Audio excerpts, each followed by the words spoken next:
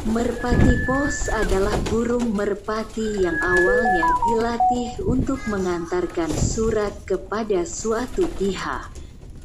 Merpati pos merupakan salah satu jenis burung yang cukup pintar, memiliki daya ingat yang kuat, kemampuan navigasi, dan memiliki naluri alamiah yang dapat kembali ke sarang meskipun sudah pergi dengan jarak yang jauh dan waktu yang lama. Sehingga surat yang disampaikan sampai di tujuan Merpati Pos pertama kali digunakan oleh seorang Sultan Baghdad yang bernama Nuruddin pada tahun 1146 untuk mengirimkan pesan di sekitar kerajaannya. Pada masa Perang Dunia Pertama, 1914 sampai tahun 1918, merpati pos digunakan oleh pasukan perang Amerika sebagai media komunikasi. Merpati bernama Winky berjasa dalam penyelamatan seorang awak pasukan udara pada tahun 1942 sehingga pada tanggal 2 Desember tahun 1943 burung tersebut mendapatkan penghargaan karena jasanya. Mengirimkan berita di saat kondisi sedang sulit. Seekor burung merpati jantan berwarna abu-abu yang bernama 139DD43T, Cerami, pada tahun 1945 terbang melebihi 1000 mil dalam 23 misi untuk menyampaikan selembar kertas berisi pesan penting.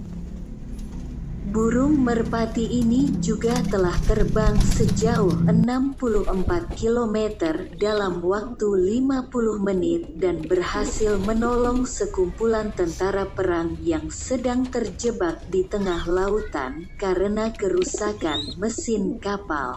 Burung Merpati betina yang bernama GIO USA 43 SC6390 sangat berjasa pada Perang Dunia Kedua karena dapat menyelamatkan sekitar 100 nyawa tentara Amerika. Sehingga mendapat penghargaan pada tahun 1946. Merpati tersebut terbang dengan cepat sejauh 20 mil dan membawa informasi tentang markas besar pasukan tentara Amerika akan diledakkan sebelum adanya telegram. Cara berkomunikasi dengan menggunakan merpati ini sangat diandalkan bagi orang-orang pengguna saham dan orang keuangan. Perusahaan Belanda mendirikan sistem sipil dan militer di Jawa dan Sumatera sejak di awal abad ke-19. Burung-burung diperoleh dari Baghdad. Pada tahun 1851, pria kelahiran Jerman, Paul Julius Reuter, membuka kantor di kota London yang menghubungkan pasar saham London dan Paris melalui Calais baru ke kabel. Reuters sebelumnya pernah menggunakan merpati untuk memberitahukan kenaikan harga saham antara Aachen dan Brussels, jasa yang dioperasikan selama satu tahun sampai perbedaan dengan telegram tertutupi.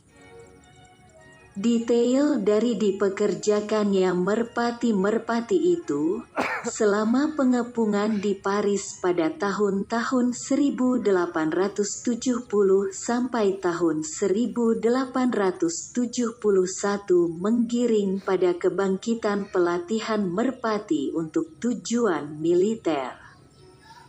Banyak masyarakat diberdayakan untuk menjaga merpati dari kelas ini di semua kota-kota Eropa yang penting. Dan saat ini banyak pemerintahan menciptakan sistem komunikasi untuk milter dengan merpati pos. Di Indonesia sendiri burung merpati pos pernah digunakan sebagai kurir di daerah Komando Ronggolawe.